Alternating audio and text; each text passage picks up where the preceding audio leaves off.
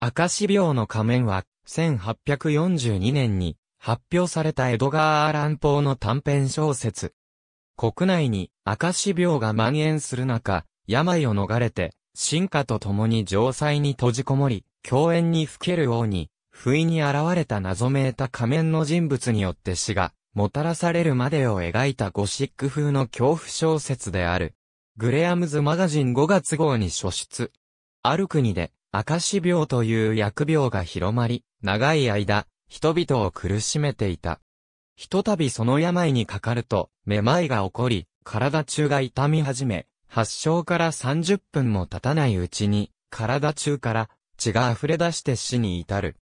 しかし国王プロスペローは、進化の大半がこの病にかかって死ぬと、残った進化や友人を引き連れて、城塞の奥に立てこもり、疫病が入り込まないよう厳重に通路を封じてしまった。場外で病が猛威を振るうのをよそに、王は友人たちと共に共演にふけり、やがて五六ヶ月も経つとそこで仮面舞踏会を開くことを思い立った。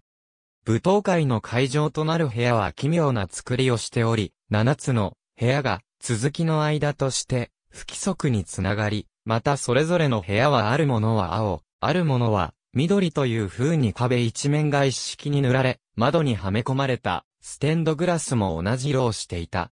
ただ最も奥にある黒い部屋だけは例外で、ここだけは壁の色と違い、ステンドグラスは赤く、その不気味な部屋にまで足を踏み入れようとする者はいなかった。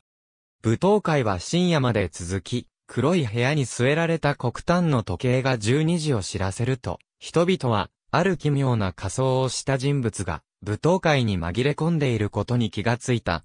その人物は全身に、死装束をまとい、仮面は死後硬直を模した不気味なものであり、しかもあろうことか、赤死病の症状を模して、仮面にも衣装にも赤い斑点がいくつも付けられていた。この仮装に怒り狂った王はこの謎の人物を追い立て、黒い部屋まで追い詰めると探検を突き立てようとするが、振り返ったその人物と対峙した途端、絨毯に倒れ込み死んでしまう。そして参会者たちが勇気を振り起こし、その人物の仮装を剥ぎ取ってみると、その下には何ら実体が存在していなかった。この瞬間、赤死病が城内に入り込んでいることが判明し、参会者たちは、数と、また一人と赤死病にかかって倒れていった。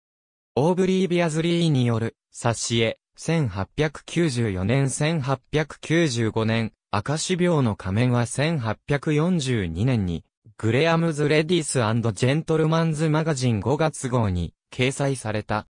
初出時のタイトルは、ザ・マスク・オブ・ザ・レッドデスであり、ある幻想という副題が付けられていた。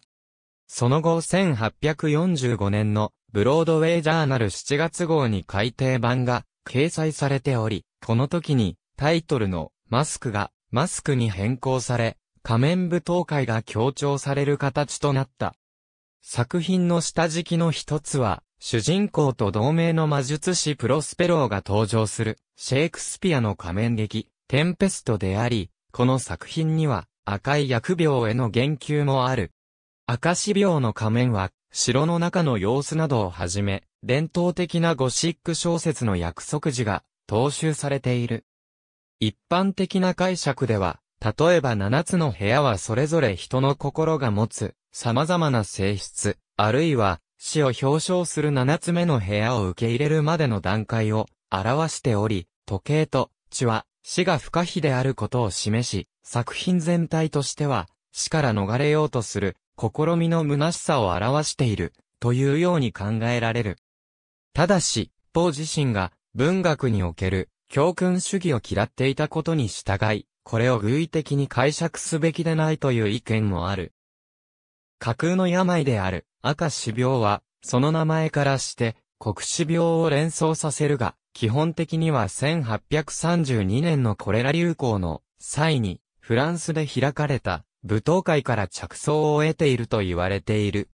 加えて、ポーの義母フランセス、アラン、実刑のウィリアム・ヘンリー・レオナルド・ポー、そして妻バージニアの命を奪った結核もこの病の様子に影響を与えていると考えられる。